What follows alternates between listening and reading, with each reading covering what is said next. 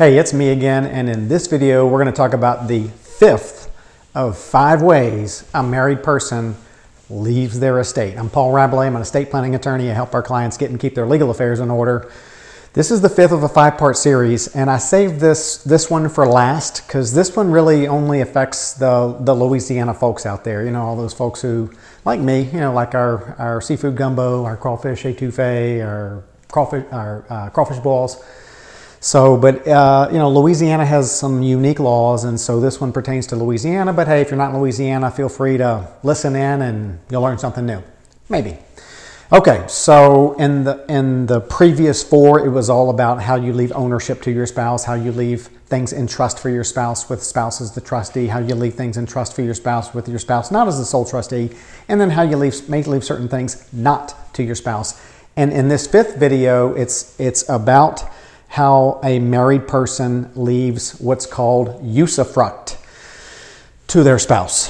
Um, so, usufruct is a Louisiana only word. When we talk about whether people do that through their will or through their trust, typically that's done through a will. It's, you know, a usufruct is not really a common trust term. So when people do leave usufruct to their, to their spouse, they do it typically through their last will and testament, which means that when they die, family's got to go through the probate stuff to get the assets out of the name of the person who died and, and retitle that into the usufruct for, for the surviving spouse. So hope I haven't confused you so far. I'm going to try to keep it simple. All right, so you know when someone does leave their spouse usufruct, their their will usually says something like, "I leave the usufruct of my estate or the usufruct of my home or particular assets. I leave the usufruct of my estate to my spouse," and then it, will typically say a few few other things. It might say, well, it it will typically state the term of the usufruct. It might say, "My spouse's usufruct shall last for my spouse's lifetime." It might say, uh, my spouse's usufruct will last until my spouse dies or remarries, whichever comes first. And then it might say, um, I give my spouse or I give the usufructuary, that's what the spouse is, the person who has the usufruct is called the usufructuary. The will might say, I give the usufructuary the power to dispose of non consumables. What that does is, for example, after the person who wrote the will dies if their spouse wants to sell an asset that they have usufruct of, like the home. If they have this power to dispose of non consumables, they can sell the house without getting the consent of what's called the naked owners. And then the will might say, I waive all the bond requirements for the usufructuary. So, so whenever someone has a will and they leave their spouse usufruct, they will or should always designate who the naked owners are. So this surviving spouse slash usufructuary has certain rights, but also has certain obligations to the eventual owners of the estate or owners of the asset, the naked owners, which are oftentimes the children of the person who granted their spouse usufruct. All right, I, I, could go on for hours about usufruct, and I did go on quite a bit in the chapter about usufruct in my book called Estate Planning in Louisiana. Oh, by the way, if you want to get it on Amazon, it's 19, 1995. Um, so feel free to check that out. So why why a crazy word like usufruct? I think it's you know derived from a Latin origin, meaning um, when you say I leave the usufruct of my estate to my spouse I guess in English terms, you're saying something like, um, I leave the use and the fruits of my estate to my surviving spouse. So, um, what does that mean? What are, the, what are the rights of the usufructuary? Well, it, it kind of depends on the type of asset that the usufructuary has the usufruct of. For example, if a usufructuary has the usufruct of what's called a consumable item like cash or bank accounts, Let's say husband died, he left his wife the usufruct of $100,000 that's in the bank. What it means now that she has the usufruct of a consumable item, it, it means it's hers, but at the, and she can do what she wants to with it, but at the end of the usufruct, maybe when she dies, maybe when she remarries, she or her estate owes the naked owners the amount that she has the usufruct of. So When she dies, her estate owes his naked owners that $100,000, even if she spent it all. So we get a lot of questions about what if the usufructuary spends all the money?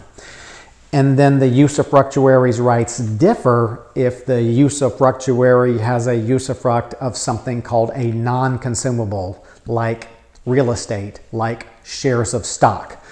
So if the husband leaves his wife the usufruct of a home and she never sells it, or if he leaves her the usufruct of shares of stock and she never sells them, then when she dies, even though those assets may have increased or decreased in value after the husband died, the naked owners just get that asset when that surviving spouse dies. And then there's the little bit more complicated scenario when a uh, married person leaves their surviving spouse the usufruct of a non-consumable, and then during the usufruct, the usufructuary sells the asset that they have the usufruct of. They're converting an asset uh, from a non-consumable to a consumable.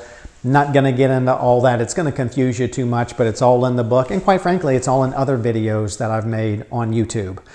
But in general, it's, it's kind of like, and I always kind of assume the husband dies first, but I know that's not always the case. It's like a husband saying, I'm going to let my wife use my assets. And then when my wife dies or dies or remarries, whichever occurs first, however the husband may have stipulated it, then I want those assets to revert back to the naked owners. Uh, similar in, in, in uh, similar to the I leave my assets in trust for my spouse and my spouse, if my spouse needs them for my spouse's needs, they can use them. And then when my spouse dies, um, the assets revert back to, to my heirs. Not exactly the same, but similar.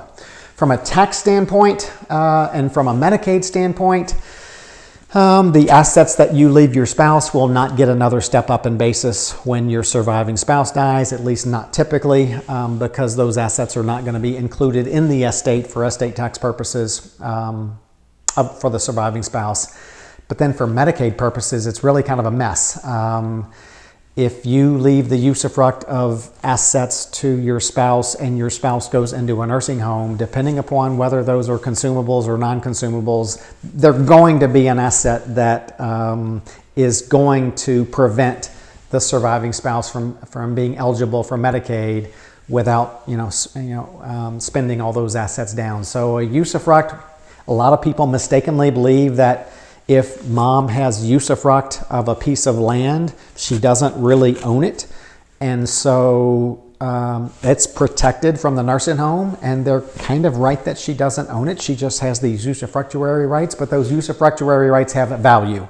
And since those usufructuary rights have value, then that value has to be sold or consumed uh, prior to mom being eligible for Medicaid if she goes into a nursing home. So another area. Okay, so in summary here, that's the fifth of five ways uh, to leave your estate when you pass away if you're a married person in usufruct and also designating naked owners. A lot of, lot of law on that that uh, you can find from other videos and other sources. So in summary, I'm glad this is the fifth of five videos. I'm ready to move on to something else. In fact, I'm happy to hear your suggestions, but there's five ways a married person typically leaves either their entire estate or certain parts of their estate. They either leave their spouse ownership or they leave assets in trust with their spouse as the trustee or they leave their assets in trust with their spouse, not the sole trustee Sometimes married people leave assets not to their spouse, but to others. And then in Louisiana, we have this fifth, fifth option where a married person uh, can and sometimes does, through their will, leave their spouse the usufruct of their, of, of their estate or assets in their estate, and they designate you know, naked owners as well. So I hope that helps. Which of those five makes most sense to you? Love to, love to see some comments, you know, down below in the comments section. Um, and then make sure you hit the subscribe button and the notification bell that goes alongside it. Hit the thumbs up button if you like it, and, and YouTube will do its thing to maybe make my videos appear more um, on your screen so that we can keep you educated on these topics. So um, give us give us your thoughts, give us your comments, and give us your likes and give us your subscriptions. Yeah, all that. Okay, very good. Y'all have a great day. Take care.